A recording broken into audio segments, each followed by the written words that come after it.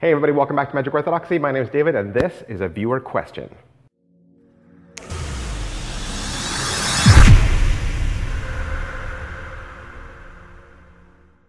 All right, so we had a viewer question. Actually, we had two viewer questions, and I really wanted to find the answers. And so uh, it was funny. In looking up the answers, I found out the answer was the same to both questions. Uh, two questions from two different viewers, both asked on different videos, and then the answer was the same answer. You want to know what it is? First question was on the Republic number two deck. Uh, these came out a while back on Ellusionist. Very beautiful deck, very simple deck. Uh, this viewer asked how thick this deck was. And so taking out my caliper and measuring a stack of 10 cards, that's what I use as my staple, that's what I use as my measurement. I measure 10 cards with a caliper to get an idea of how thick these cards are and how these cards compare to other cards. So 10 cards came out to 2.91 millimeters. So 2.91 millimeters aren't exactly casino cards, okay? They're not casino thickness. Uh, they're, they're, they're a little under, but they're close. Casinos are usually 3.0 and above, but 2.91 is close. Uh, so these are going to feel and handle the same as the Shin Lim deck, or the Saturns, or the Split Spades, or even the Smoke and Mirrors version 2. All right, so that was Republic 02.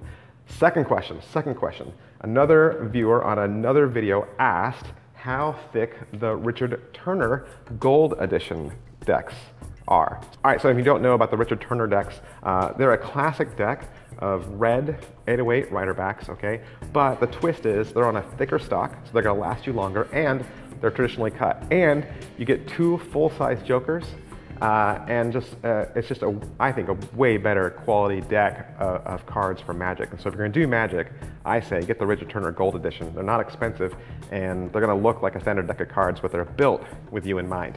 That said, this reader asked, well, how thick are they? How thick are 10 cards of the Richard Turners? Now, here's the interesting part.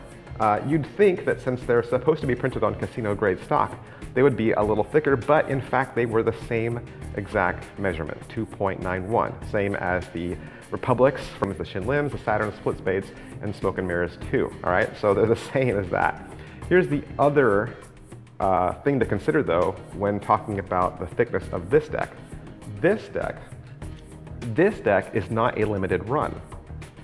See, most of the time when I measure decks, they're limited run, which means uh, USPCC printed them one time and they're never gonna print them again. So when I tell you how thick they are, that is a good standard of measurement because my deck will probably be the same thickness as yours. However, this deck, the gold standards, are an unlimited run, meaning that USPCC will reprint these every single time they run out.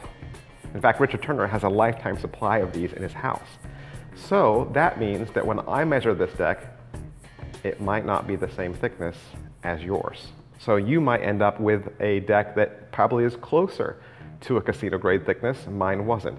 So that's just how USPCC uh, prints their cards. They're, it's not an exact science, you know. They're just pressing paper, and you're getting uh, the the weight of the rollers at that time in history. And you know, it's, it's luck of the draw whether yours are the same as mine or not.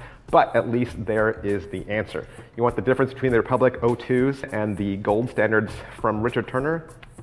Identical. They will feel identical. The only difference is this one's traditionally cut, this one's not. But they're gonna have the same Q1 quality controls. For the most part, they're gonna feel and handle exactly the same. All right, so that is my answer to my viewer question. I hope it answered maybe even some of your questions, and I'll talk to you later. Bye.